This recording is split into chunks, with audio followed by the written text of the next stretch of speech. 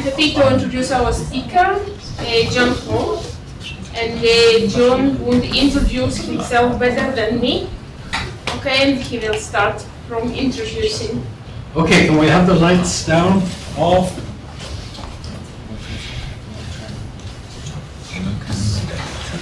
Okay, I arrived in Israel in 1970, and I was the first geophysicist from Machon Geologi, and I was a marine geophysicist on top of that, the net result that I was sort of the weird guy there. And as a result, I kept my own library, which is now here at Haifa University, my own map collection, which is now at the Hall Map Archive at Heker Yamim. And it was only uh, about uh, 15 years ago when Yossi Mart put me up for honorary membership of the Israel Geological Society that he mentioned that I had a background in the Arctic. And so here I'll try to bring you up to speed. Uh, you can read what the title is there. I was a graduate school, uh, graduate in graduate school at Lamont uh, Geological Observatory. And I had first worked for two and a half years at Woods Hole Oceanographic Institution long before Zvi Ben Avraham came there. And uh, since I had spent about a year and a half at sea doing magnetics, gravity, seismic profiling, and uh, also the first computer programming at Woods Hole, when I arrived at Lamont, instead of putting me into the bathymetry or magnetics or gravity or seismic profiling department, they stuck me into the Arctic section. And uh, Back in those days, if you were a graduate student uh, going for the PhD, you had to spend one year at sea, which I think was an excellent thing, and that's what's missing from your education. But anyway, uh, so Lamont had been carrying out the U.S. Navy program on uh, Fletcher's Ice Island, or T3 as it was called, since 19, 1962. Uh, uh, and uh, this is a view of uh, Fletcher's Ice Island. It came out of uh, a ice tongue uh, in northern Ellesmere Island. It produced a number, this ice tongue, the Elverton Ice Shelf, produced a number of ice stations. Uh, these were originally about 60 meters thick. They were freshwater ice, not sea ice. And uh, the amazing thing was that uh, in the early 50s or actually late 40s, they discovered that these things had a completely different radar uh, cross-section, uh, the B-29s that were doing weather flights. And so they began tracking them, and in 1952 they made the first landing on it, and uh, this was occupied in total for over 7,000 days. Uh, the Air Force was operating it as long as they needed weather. Uh, as soon as they discovered intercontinental ballistic missiles, then the Navy took an interest because they had nuclear submarines. And so this was a wonderful place for civilian scientists to work, but uh, it was always the military who was funding uh, the costs of it. Uh, this was my uh, uh, PhD, basically what's inside the red uh, rectangle, although I did have to go back and work up all the navigation, some 7,000 celestial fixes, and it was only in 1967 that we began having one of the six civilian satellite navigation systems. Uh, in any case, the important thing was that within the red rectangle there, uh, I wrote my thesis. I had set up the first seismic profiler to be on the ice station. Profiler down below is 130 days long.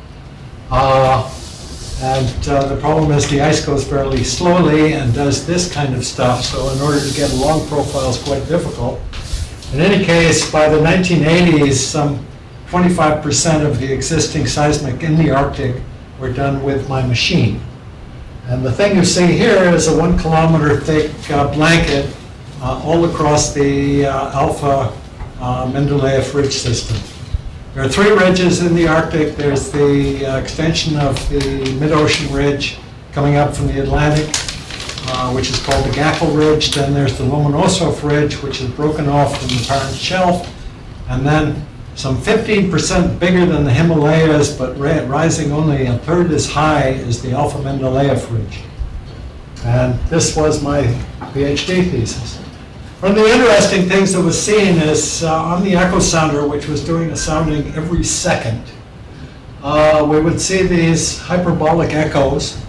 And on the seismic profiler underneath, uh, say 200, 300 meters down, all of a sudden everything was flat. And Bruce Heezen, who was sort of the master of uh, ocean bathymetry at that time, took one look at it, and said, John, these are sediment waves. So my whole thesis was built around A, building a model for the ridge as if it were an extinct fossil uh, spreading ridge, an idea that Peter Vogt had also had based upon uh, observations elsewhere. And the second thing being that these were sediment waves from a period of much higher current activity, in other words, more than 30 centimeters per second in the Arctic Ocean. Uh, this gives you an idea of the data over the ridge itself. Uh, is all the stuff that I took for the single channel system right in here. And of course, icebreakers did multi-channel uh, work elsewhere. They were never able to get in over the Alpha Ridge because this is where the multi-year ice, up to six, seven, eight years old, up to four, six meters thick. No icebreaker could get into that. The other parts of the Arctic, if the ice is less than two meters, icebreakers can go through. The other important thing was that after I left, the coring program on T3, which ultimately took about 700 cores, short cores in the Arctic, uh, most of them were one, two million years. The uh, usual thought was that sediments were collecting from ice rafting uh, at the rate of about one meter per million years. And out of those four cores, one taken by the Canadians from a temporary station in 1983, and the other three taken by the USGS uh, for their heat flow program. Uh, they varied between 45 million and 76 million years.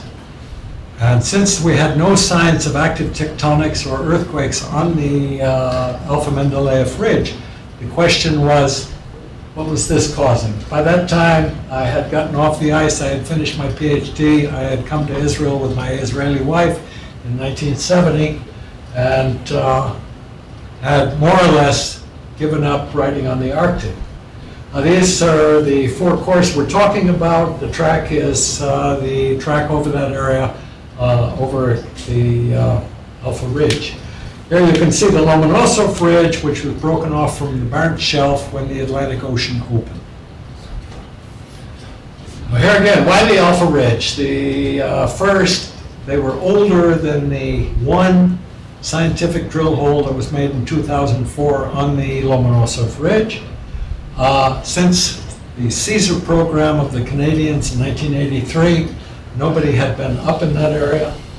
Uh, long afterwards, a fellow uh, who was analyzing all the cores from the Western Arctic noticed that there were mysterious iron, nickel, zinc spherules in all of the cores.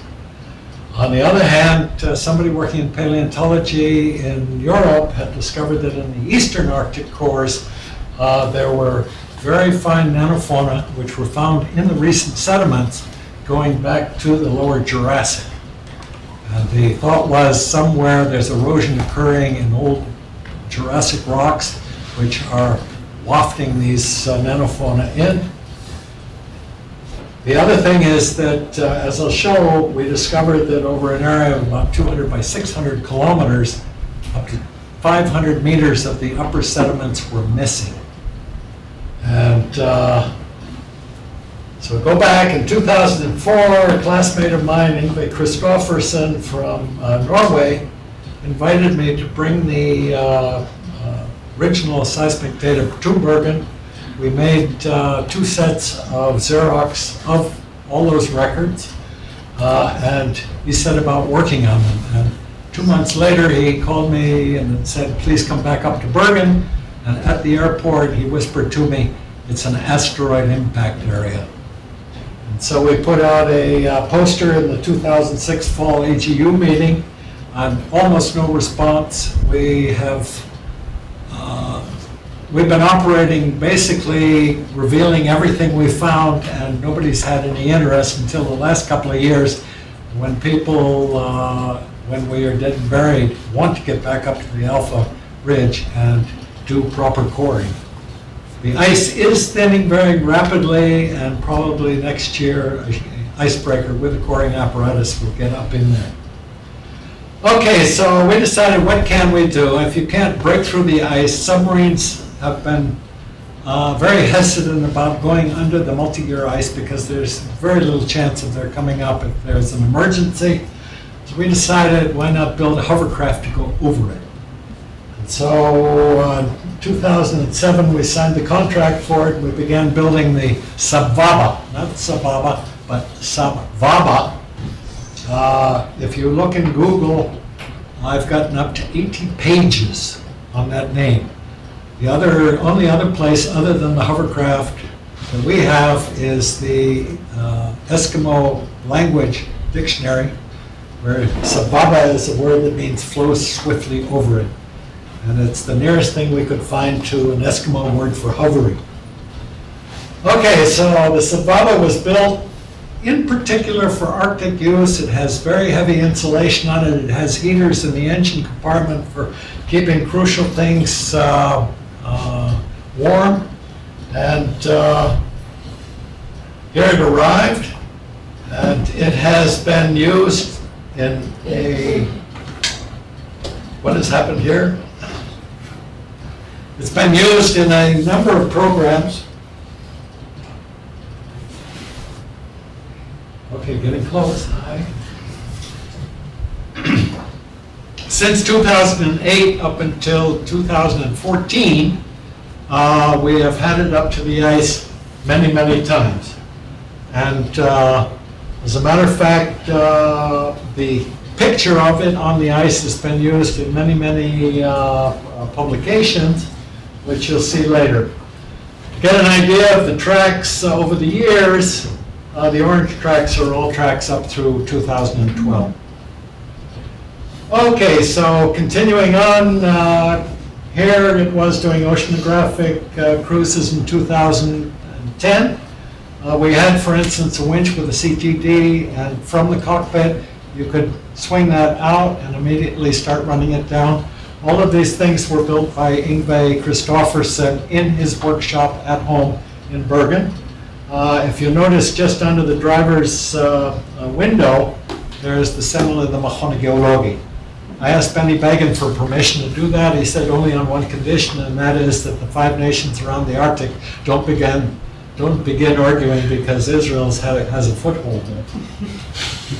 Okay, uh, I was up on the Yermak Plateau a number of times. It was used by people from the Scott Institute for trying to measure the uh, wave heave in order to get an indication of what the average ice thickness would be. Uh, during this time, I, over five years, I spent the late summer months aboard the U.S. icebreaker Healy, uh, while the United States and the University of New Hampshire were doing the extended continental shelf surveys. For me, it was a matter of trying to tell people who were doing modern work what it was like in the good old days in the ice station. Uh, and beyond that, just looking out across the ice and trying to figure out, okay, if we had the hovercraft up here, how would we get around? Uh, the important thing here is in Healy 1102, uh, which was the last one that I was on, uh, they made a big long track together with the Canadian icebreaker Louis Saint Laurent, which had a USGS contingent on board doing seismics. And we were breaking ice for them, and then they were following us uh, so that the ice was broken up enough so that they would not lose either their air gun or their uh, screamer. And the interesting thing about uh, that was that uh, it crossed another area where uh, Polyak and others in 2005 had suddenly seen what they called uh, sediment waves. Uh, they had not known that I'd published on 15,000 square kilometers of area that we'd crossed uh, with those things, but uh, this was the first time that they had ever been seen in the Arctic. In any case, aboard the Healy, all of a sudden, what the hell is that? This is the Chirpal put together showing the whole uh, crossing uh, of the uh, Alpha Ridge. And the very interesting thing here is the multi-beam. We had a new multi-beam, a EM122 with uh, about uh, 400 uh, beams and going four kilometers on either side of the icebreaker. So this is eight kilometers wide and it is showing the side slopes. And in the side slopes, the red is up to 40 degrees. These are not parallel, these are not sediment waves. Uh, I compare this to what happens if you have a Doberman, uh, or no, a uh, Great Dane. Uh, he is very hungry, you feed him all his giblets all at once, and too much water, and he throws up on the kitchen floor. You just have these blocks all over the place, and I believe this is definitely the ejecta field. The interesting thing here is within the chirp, you have conformal exactly 25 meters, which is going over this. And I believe that this is the uh, mud which settled out from a very muddy ocean uh, whenever this impact occurred. We believe the impact was probably several million years ago. As soon as there are longer cores, we should be able to get through this, see what's uh, going on, and then where do we get into this stuff? Not in the ejecta area, but the area where up to 500 kilometers is stripped off. Okay, we got an invitation to, uh, in 2011, to come up in 2014 with a uh, Polarstern, the Pole Star, the largest uh, uh, icebreaker that the Germans have, the only one, uh, which is run by the Alfred Wegener Institute in Bremerhaven. And so the whole idea was to be able to get out on the Alpha Ridge, and uh, we began equipping ourselves for spending up to 500 days out there and hopefully drifting out uh, back down into the Atlantic. Uh, this was the cruise plan. Polarstern would be operating closer to the Mendeleev Ridge. Uh, we would be in the Alpha Ridge itself. Uh, we went along with 100 core liners plus a hydrostatically boosted core, which Yngve had patented the whole idea being, how can you do everything with a 3 8 inch Kevlar line with a braking strength of two tons operating from the ice and still have a core which could jam itself deep enough into the bottom. Okay, uh, in 2012, we had a program to go up and work uh, doing refraction together with the Swedish icebreaker Odin we got 500 meters into the ice. A movie on this has been shown in Rishuda Shidor, the first channel, uh, once. It'll be shown twice more, and the name of that is North Into the Mist. The whole problem was we got 500 meters into the ice, or 500 kilometers up into the ice pack. When we were out of fuel, we then rendezvoused with the Odin, refilled our 2,500 liter tanks, and at that point there was the worst storm in living Arctic history, which reduced visibility from 20 hours a day to two hours a day, so we couldn't navigate. Beyond that, it broke up the ice so that there were ice rebel, rubble and pressure ridges all over the place. Net result is we couldn't really go uh, uh, over the next 500 kilometers to the uh, Lomonosov Ridge. So the decision was made instead for the graduate student who was going to spend a week or two uh, measuring earthquakes on the Gakkel Ridge to instead spend over a month. And during that time, in an aseismic area of the Gakkel Ridge, with the hydrophone array that he put out, uh, he was able to detect 300 earthquakes. So the whole ridge apparently is seismic. Uh, the interesting thing here was that an array of five hydrophones were put around and up to five kilometers between them. And then a Wi-Fi was set up so the Wi-Fi, the center of the Wi-Fi was the hovercraft. And the hovercraft was able to receive in real time everything coming from the hydrophone. Excuse me. This photo was chosen as one of the 10 best science pictures uh, by the Science magazine in 2014. If you do have water, I suspect I'm going to need it. Okay, September 2013, we were a satellite station for acoustic and oceanographic work that was done by Woods Hole Scripps Institute, National, Sci- uh, the uh, Office of Naval Research, and also the Norwegian, and also a collection of all the buoys that they put on the North Pole when the Russians set up their touristic station in March.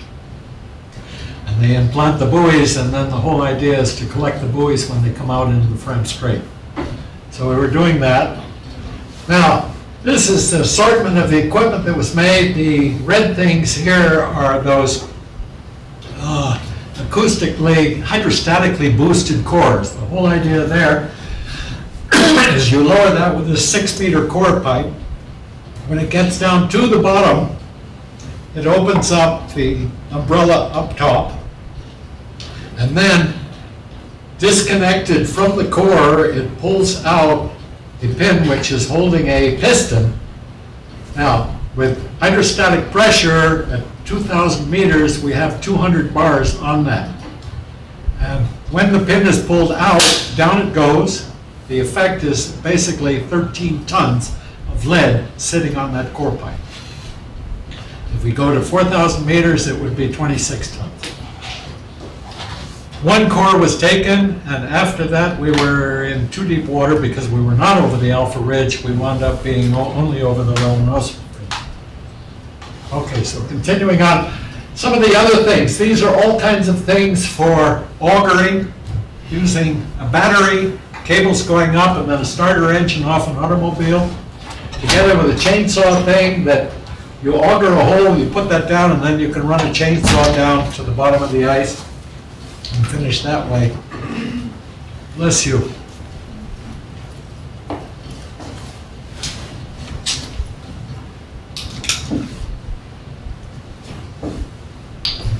I should say unaccustomed as I am to talking all the time.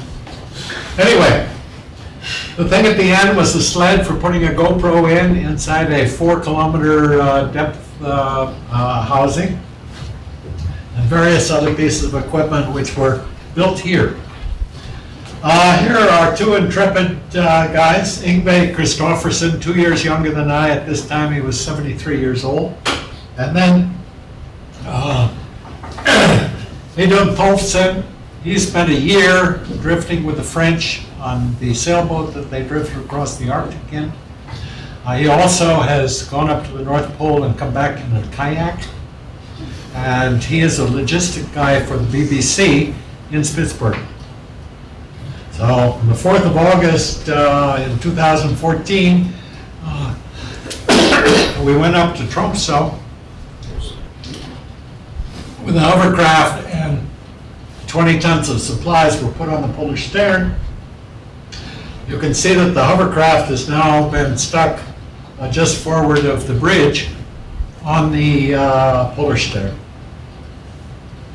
The whole idea there was, okay, get up where the cores were on the Alpha Ridge. Here's the initial uh, Polarstern track. And then after that, it just started butting into the Lomonosov Ridge, continued all the way up beyond the ACEX hole, and then finally called it quits and said, okay, you're not going to get the Alpha Ridge this year. Uh, there's the continuation of the track on the upper right-hand side. There were two other uh, icebreakers that tried to get up in the same area, and they were rebuffed because of the ice conditions and the uh, lack of visibility.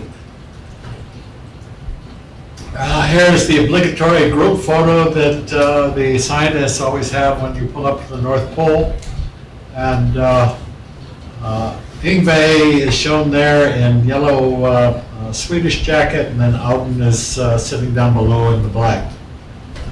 And after some, what, three weeks on board the Polarstern, they fi- finally found a place at 8720, 153 east, that uh, the ice was thick enough so that they could be put down.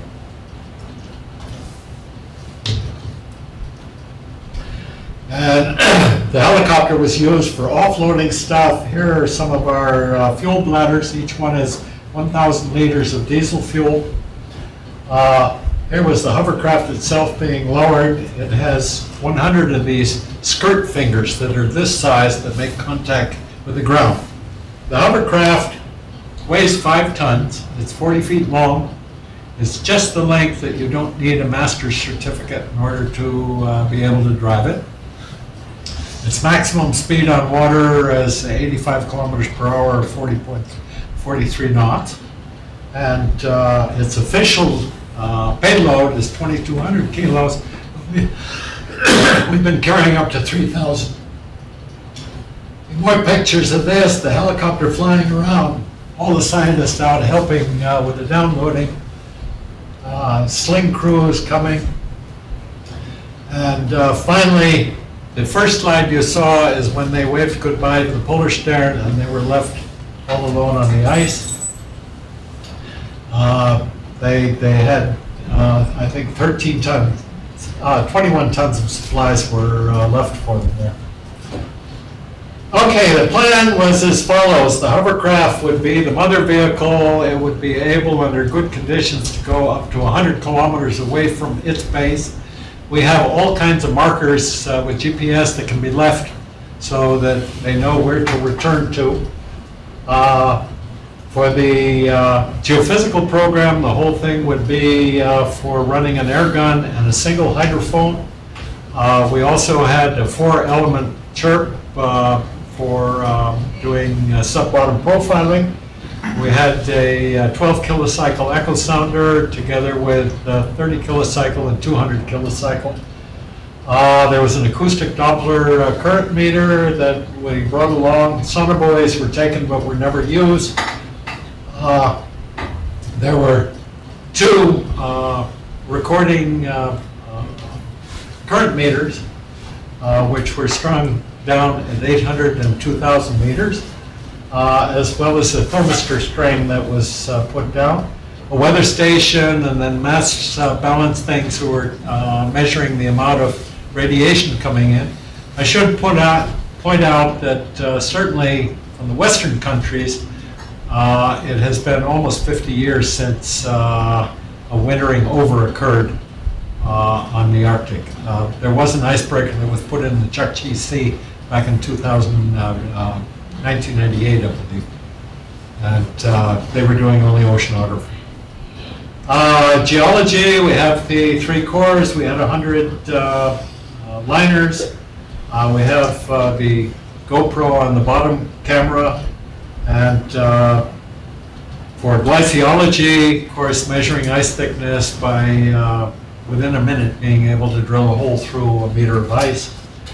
Uh, so anyway, spoiler alert, okay, uh, beginning in September, entering in June, this is the continuum of, uh, of observations that are made. Down at the bottom for the camp, we have two periods of ice dynamics where the camp was subducted or turned into a pressure ridge. And the nice thing about the hovercraft is that basically you can move. Other ice stations have had to man haul their cabins. Uh, Station Alpha, for instance, finally wound up in, in eight separate pieces of ice. Uh, so anyway, uh, uh, the important thing, the most important thing from my mind certainly was the uh, seismic. This was 1,000 kilometers total. And if you look at the top part, instead of flushing out directly into the continuation of the North Atlantic, the weather systems, which were causing havoc with the uh, change in uh, weather over the United States, the polar gyre, caused us to cross the uh, Lomonosov Ridge five times. And three of those crossings were in places that nobody's ever been. And certainly the lower part over the Morris Jesup Rise, uh, an atomic breaker tried to get in there together with the uh, Swedish icebreaker five years ago, and uh, finally had to go back to Murmansk for repairs. It just couldn't get in.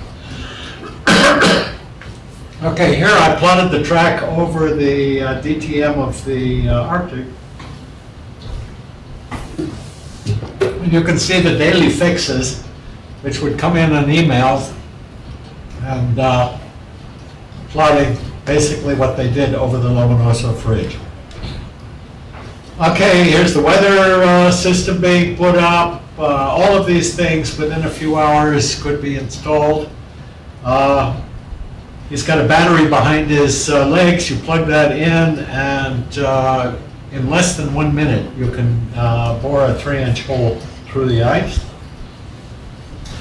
Here is this thing which uh, uh, basically you set it up and you go down and if you've already bored a hole, then the thing which is holding the chain goes down through the hole. And so if you make four holes, then you can cut, cut, cut, cut, cut, cut, cut, and then you have a hydro hole. Uh, There's a rectangular hole here that's been cut, and this just fits the current meter. It goes through, and each one of these holes, what they did is, in Spitsbergen for the snowstorms, they put a red rod, which is hollow, for the snowplows to know where the road is. They stole a whole bunch of those. And the whole idea was to put the rope through that, and then thereafter, if you wanted to raise or lower it, of course, five crossings of the, uh, of the Lomonosov Ridge, the current meters that they had at 2,800 meters had to be lifted up at least a kilometer.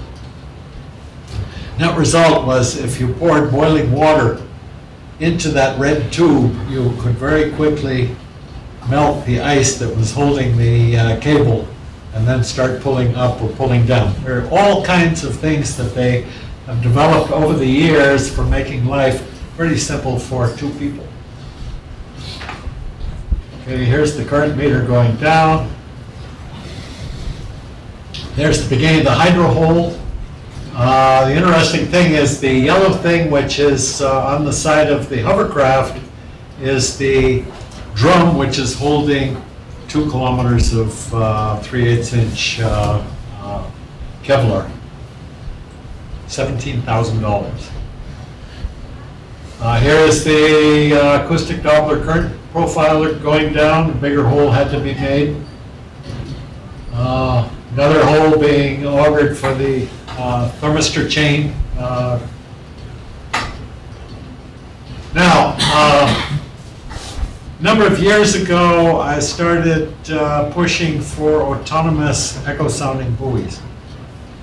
Uh, around Antarctica, in the Arctic, and especially in the eastern Pacific, uh, there's very little data, especially in the oceans, to tie in with the uh, uh, satellite altimetry. And of course, if you have any kind of bathymetry in those areas, then you can uh, quantify the gravitational signal you're getting with the amount of sediment uh, which could possibly be there and come up with a better uh, calculation for what the synthetic bathymetry would be. Net result was that a half a million dollars was spent of NSM, NSF funds and got nowhere. I then took over the project and uh, $130,000 were spent building something that uh, worked briefly, which was developed in Bergen, uh, Norway. Finally, when I was on the cruise with the Norwegian icebreaker, uh, a fellow from Woods Hole said, I'm ready to build you buoys. And so rather than the idea of ping, ping, ping, ping, ping, where's the bottom, the whole idea was to use a 10 kilocycle uh, uh, sounder and try to get the bottom on the first ping. Five of these buoys were built. Uh, they were put out at distances of five kilometers from the hovercraft uh, these, for instance, are some of the buoys and some of the tracks we made. Uh, ultimately, this was a failure. Only two of the five were recorded. The other three were probably part of a pressure ridge. Beyond that, uh, as time went by, the batteries would die, and uh, we were in a situation where the results just plain did not match uh, what we expected for the Arctic. There is a grid for the Arctic of 500 meters, based upon all the ice landings and everything else. Uh, it needs to be corrected, but not by that much. Anyway, I finally decided after spending $90,000 in this, I'm out of that business. But for the kinds that would operate in the tropics uh, in the uh, Pacific Ocean, through sunlight and uh, not having batteries which are being kept at 30 degrees below zero, you should be able to do uh, excellent work, and especially drifting around Antarctica. So anyway, that was that part of the program. We brought along JP6 uh, uh, cold weather uh, jet fuel. Uh, we had assumed that Audun would be taken out around the 1st of March with an airplane, and uh, airplanes coming out to land on the ice usually have to carry the fuel to get back. So we had uh, 10 of these drums, uh, hopefully to refuel that aircraft. Ultimately, this was all used for heating. On top of the core ladders, and then on top of that are the Go- GoPro uh, program. Here was the GoPro sled, and uh, this was used to great advantage to see that uh, fish that are seen six to eight degrees further south actually exist up near the North Pole.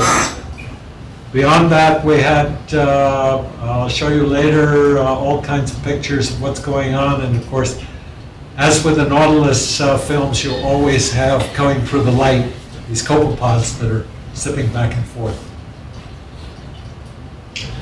Uh, okay, the whole idea was to build themselves a hangar, and they had taken uh, two plywood boards with spacers that uh, kept them about 30 or 35 centimeters apart. The whole idea was to go to the melt pools that form during the summer and which begin freezing on the top, with a chainsaw cutting them out to make basically your cement blocking, but made out of ice. Put the two of them on either side, building up that way, put snow in, and then go and take water out of the uh, melt hole, put it in there, and at 25 degrees below zero, pretty soon you have a ice wall. This was the 110 uh, square meter hangar that they built. Now, the problem was, the whole plan was to try to be on a piece, piece of ice that was two meters thick. The more you load on a piece of ice that's one meter and 10 thick, the more it does this. So between, I think the estimate was uh, something on the order of 30 tons between the building itself and the hovercraft inside and, and the equipment they had here. So this boat down, began to produce small cracks. In the meantime, there was one a wild snowstorm, and the snowstorm left drifts that were up to two meters thick. The estimate was that 250 tons of snow had landed also. Uh, and they, A, they had to go and dig out all the stuff that was under the snow, trying to remember where it was. Luckily, this was before the sun had gone below the horizon and they were in five months of darkness. But the net result was finally there was up to 50 centimeters of water over the uh, hydro hole. Uh, they're wearing survival suits, so they're perfectly good and warm and everything up to uh, their heads. But uh, it was quite necessary at that point to move the hovercraft out from the ice hangar and to disconnect all the equipment and everything else and start living with the hovercraft with ice insulation over it and a great big tarp to protect it from the snow. Uh, this is sort of camp life. I, I am pretty sure that this was the beginning of the year, not uh, the next spring. In any case, the year that I spent on T3, I got very good at making haircuts. And of course, the, at the beginning, the hair, haircuts that were awful, uh, nobody really cared. Uh, cooking, we had food for, they had food for 500 days for two people. GoPros were put all over the place, and uh, we now have up to 100 hours of video, which a full-length feature movie will be made from. This is including interviews with a whole pile of people that were done after uh, asking their opinions of what they thought and uh, their comments. So stay tuned.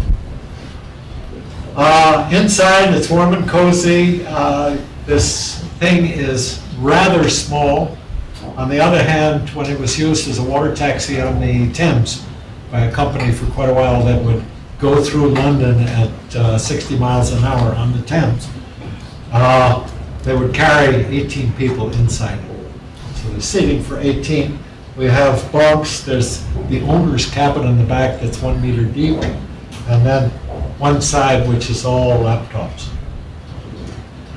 Here again, the laptop, seismic echo sounder, email, we do have an antenna on the roof which is specifically for working with the Iridium system, and emails and uh, all kinds of material that were sent back and forth during the whole time of the drift. Here's a screenshot from the seismic data acquisition, acquisition system. And uh, you can see the kind of penetration they're getting. I'm comparing this with a multi-channel streamer that was done by the Polarstern up uh, probably within 300 kilometers of them. We have the same thing down here, which is recorded digitally. And uh, it's probably a little bit better than uh, uh, the, the multi-channel is probably a little bit better, and you can certainly get velocities from that. But it certainly is not bad. These are uh, various things that he sent back of uh, things that they were seeing, uh, deformation, and we may very well finally have an answer to whether or not the uh, Amerasia Basin opened like a windshield wiper around northern Alaska. And uh, with the number of crossings that we have on that side of the Lomonosov Ridge, uh, that may come out from the analysis. The air bottles that you see up there, uh, we would pump them up to 190 bars. They would give us 22 shots with the air gun. The air gun would go off every time that the uh, hovercraft had moved 25 meters. Uh, all told, with a thousand kilometers, there were 40,000 shots. This they felt right under the hovercraft. Uh, the air